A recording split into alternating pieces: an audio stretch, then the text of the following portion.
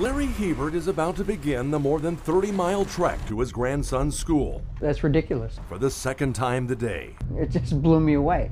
And uh, no one wants to give me answers why. Hebert says his grandson, who's diagnosed with Down syndrome, was suspended from riding the school bus for falling asleep. As soon as uh, the bus got back and dropped all the kids off, boom, they called his dad and said, boom, your son is suspended for three days for sleeping on the bus just like that, right out of the blue.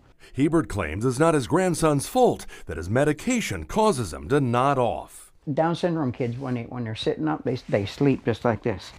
And he was facing sideways on a bus because she don't allow nobody else to sit with him. But school officials say that's not what happened. They say Hebert's grandson wasn't even asleep. The transportation manager for Laurens School District 56 says the boy was suspended for sitting with his head pressed against the seat in front of him.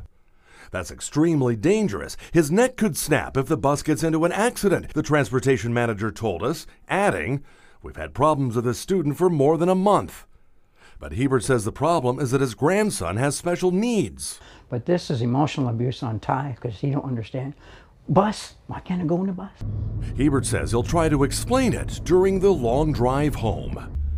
Tim Waller, WYFF News 4, Laurens County.